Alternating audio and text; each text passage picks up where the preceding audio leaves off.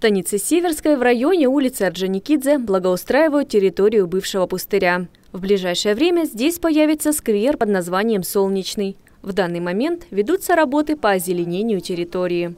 Сейчас мы выс- высаживаем кустарники, туи, э, спирею, можжевельник. Э, в дальнейшем будут высажены деревья чуть попозже, в ноябре. Также в планах администрации Северского сельского поселения установка игрового и спортивного оборудования. Это произойдет уже в следующем году. Строительство объекта ведется в рамках выполнения программы формирования комфортной городской среды.